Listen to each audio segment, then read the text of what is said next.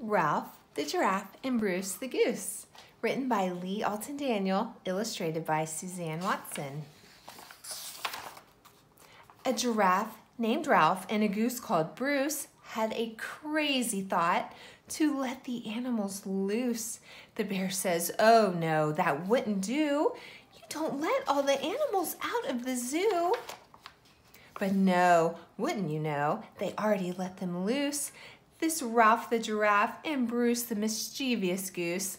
The tiger says, oh no, this won't do. Why did you let the animals out of the zoo? Zookeepers running around, chaos and confusion here and there, bears, elephants, and kangaroos, animals are everywhere. The puffin says, no, no, this won't do. You can't let the animals out of the zoo. Hippos eating mom's flowers and rhinos on the driveway, alligators in the pool. How did the animals get away? Mom cries, no, no, this won't do.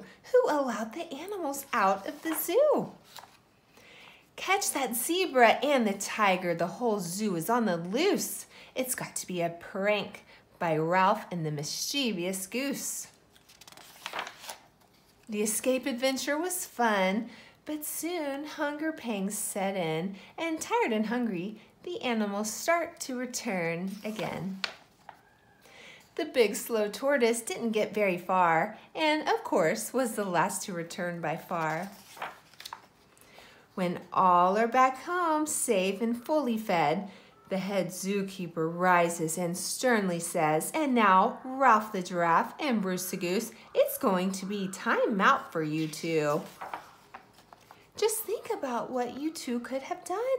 You caused destruction trying to have fun. We got everyone back home and can now open the zoo. Always consider others in all that you do. Just think your misbehavior could have closed the zoo.